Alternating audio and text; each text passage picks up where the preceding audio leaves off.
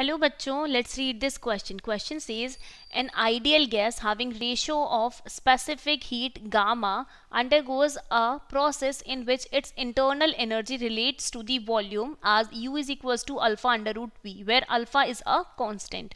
If the gas is expanded from volume V1 to V2, if the ideal gas is diatomic and its increase in internal energy is 100 joule, then the work performed by gas is ignore vibrational degree of freedom. So here we have to find out work performed by the gas so firstly we will write what is given. So here given is u is equals to alpha under root v. And also it is a ideal gas it is a ideal gas and what is given here its increase in internal energy is 100 joule. That means del u is equals to 100 joule is given. Now we can conclude that here we can write our key concept. So in this key concept we will write ideal ideal gas equation. That is PV is equals to nRT and we can write what is U? That is internal energy is equals to NCVT so now from this equation we can calculate that the value of temperature it is equals to PV divided by NR and here the U is equals to alpha under root V. So this is our equation 1 and this is our equation second. We can equate both the equations. So after this we will we can write alpha under root V is equals to N CVT.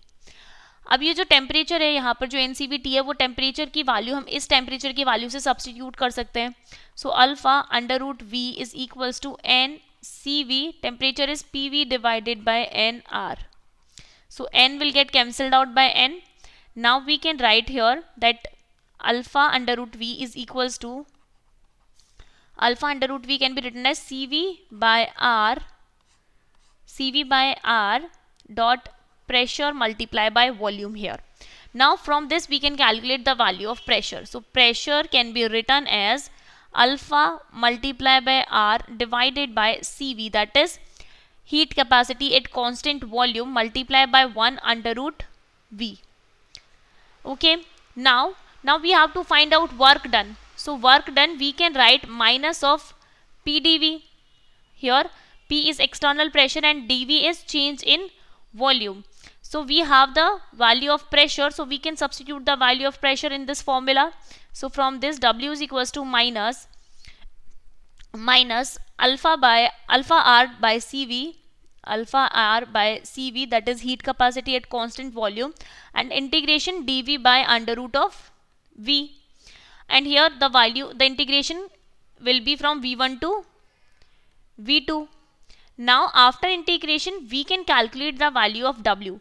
W comes out to be minus here this alpha R by CV that is constant. So we can write here alpha and R by CV is equals to gamma because we know that Cp by Cv is equals to gamma and Cp minus Cv is equals to R. So from these equations we can calculate this is alpha upon gamma minus alpha multiplied by gamma minus 1 dot.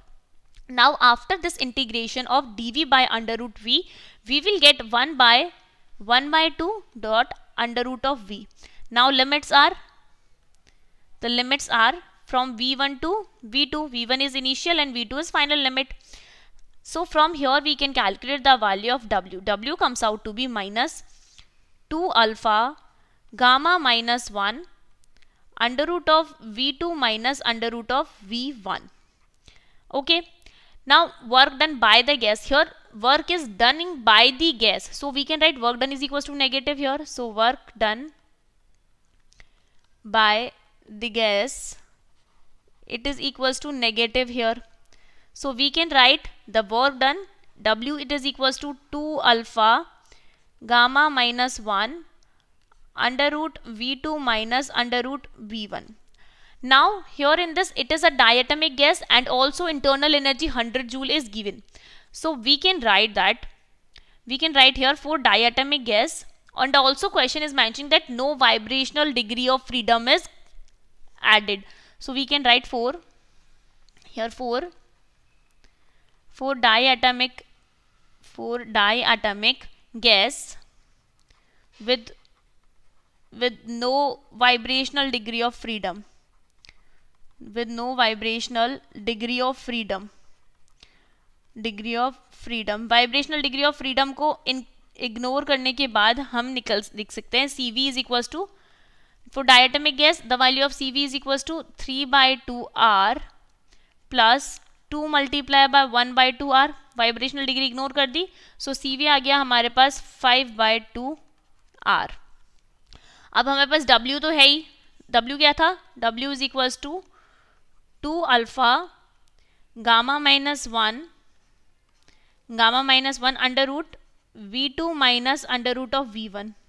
So this is equals to this under root v2 minus v1 can be written as 100 because del u is given that is change in internal energy. This is equals to alpha under root v2 minus v1 under root v2 minus under root v1 this is equals to 100 joule this is given in question so we can substitute the value here so in this we will get 2 multiplied by gamma minus 1 comes multiplied by 100 and gamma is equals to Cp by Cv.